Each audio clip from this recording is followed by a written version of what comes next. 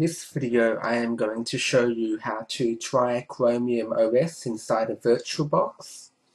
The first thing you need to do is to go to this website. I will put the link in the description and you need to download the latest um, Chromium OS nightly build for VirtualBox um, from this website. I'm using the vanilla version. They also have a Lime version which I believe has a few extra features or programs or drivers, something like that. I haven't tried the Lime version, though you can try that if you would rather. Um, though anyhow, I have already downloaded it, so I'm going to show you how to set it up inside a VirtualBox. So just type in whatever you want. I am going to call it Chromium OS, and I'm going to select Linux, other Linux or Linux as some people like to say next. I know Linux is right, I'm just used to saying Linux. I'm going to give it 4 gigabytes of RAM, which is, you know, more than enough. It should only need 1 gig probably. Um, and I am going to use an existing virtual disk image, VDI image. Uh, this is the one I have downloaded, the vanilla build. Um, I believe it's late August from late August, that particular build. So I'm going to click next and create. Now before I run it, it is very important that you um, change the network adapter. You need to select advanced and you need to change it to this one here, Intel Pro 1000 MT desktop because if you leave it to the default it's not going to work and you might also want to go through and change a few other settings. I usually like to put the video memory up and enable 3D acceleration. So I'm just going to click OK and run the Chromium OS virtual machine now.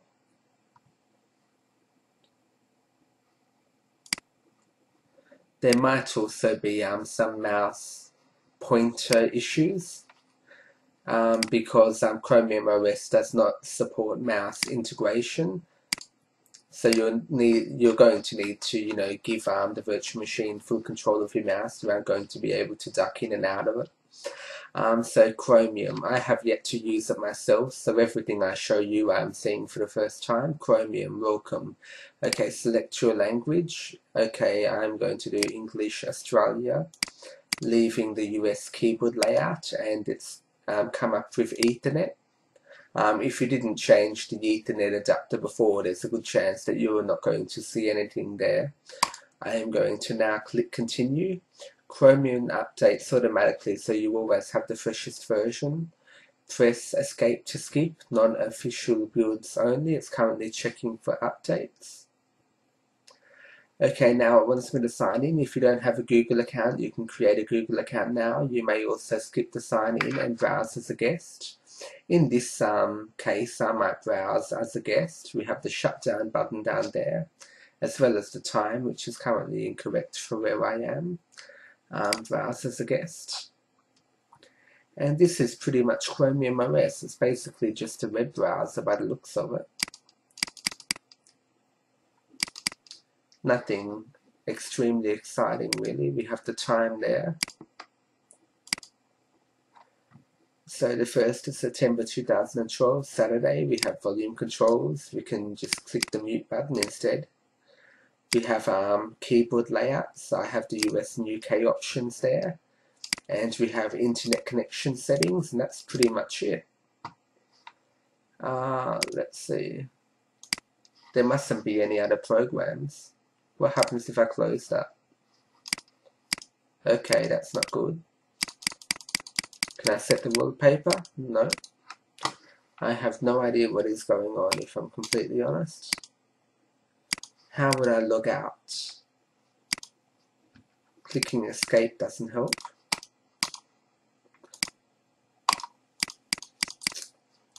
Okay, maybe I should have logged in. I might just um, reset the um, virtual machine and log in and see if that makes a difference.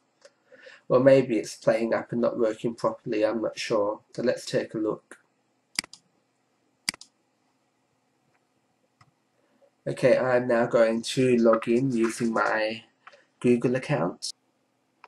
Okay, it looks like I'm currently logging in now. Uh, this looks better, Chromium. Choose a picture to display for your account on the sign-in screen. Uh, let's see, I don't want the picture of myself, that's pretty boring. Um, yeah, I might be a penguin. Okay.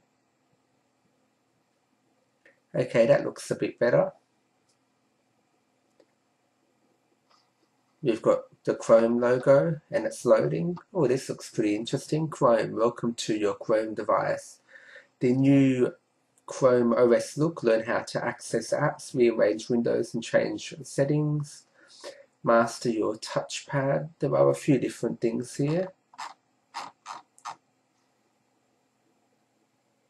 I wonder if I can change the resolution and make it a bit bigger. Or what happens if I try and readjust? Will it automatically? No, it won't. Okay. Okay, let's take a look down here. If I click this, it will open up a new tab. There is a little bit of lag at the moment, probably, because I'm using a Bluetooth mouse inside of a virtual machine. Tips and tricks. What will this open up? Okay, that seems to be a bit buggy. I presume this is where all of the applications, etc. are. So we have Chromium. This is just a link. There must just be web links, really. We have a link to the Chrome Web Store. And if you maximize a window, it sort of hides the menu at the bottom there. And notice that because I obviously logged in with my Google account, um, yeah, it's got my Google account everywhere.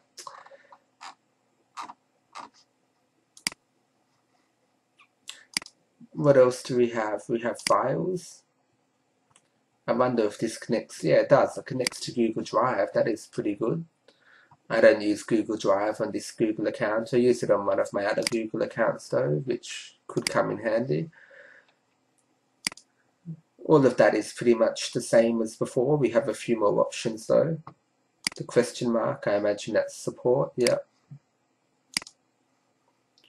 You have the option to turn off the computer or virtual machine, whatever, to lock it. What comes up in the settings?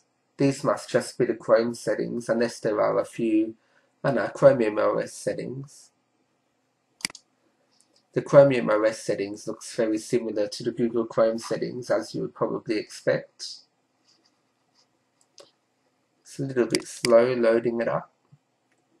History, extensions, it's pretty much Google Chrome with a few extra settings. It's lagging a little bit, it shouldn't be lagging. The virtual machine has plenty of power. So yeah, it's very similar. You just have internet connection, which is something you wouldn't normally see in Google Chrome. We have a few different things.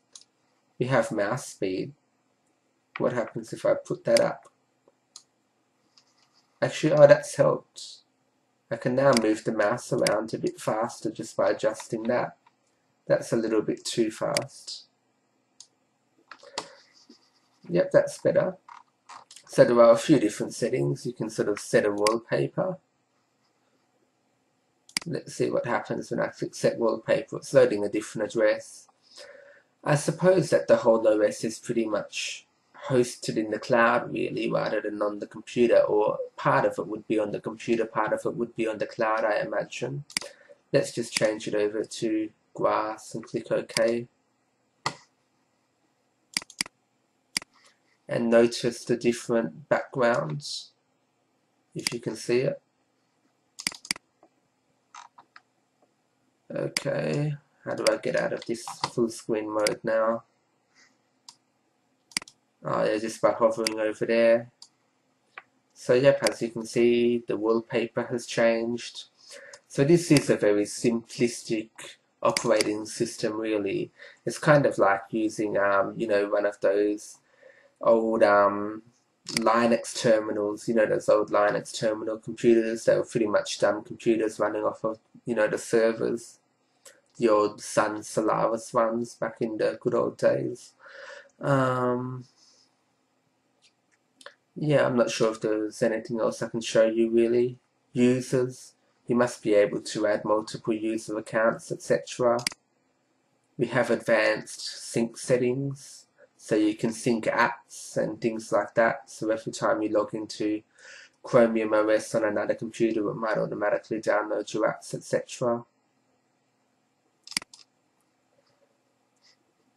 We have some more advanced settings. Let's just take a look. You can change your time zone. That's not my time zone. I might change it.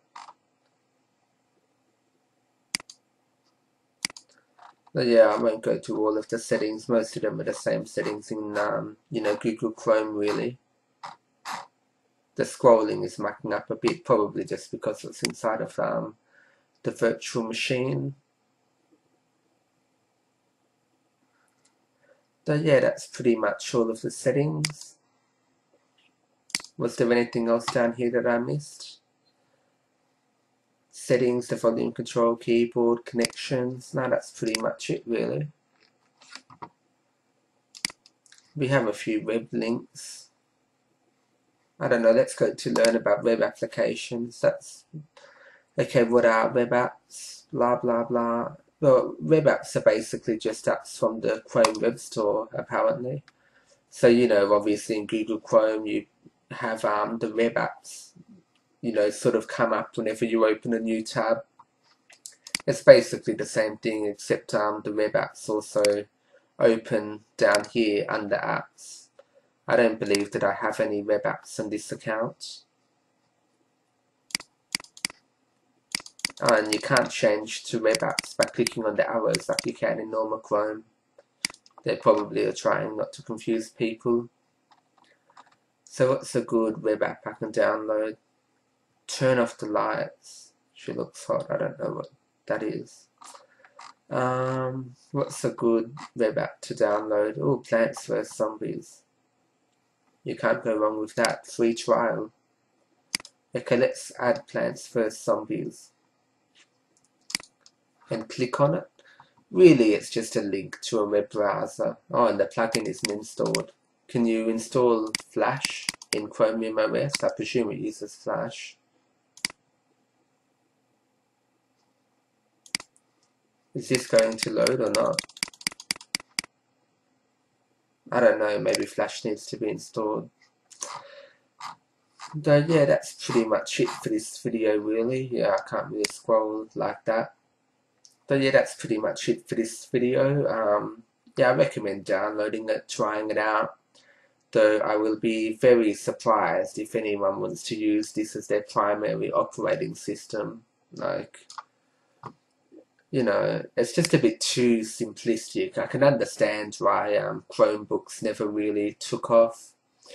So yeah, that is pretty much it for this video. If you have any questions, then feel free to ask me and thanks for watching.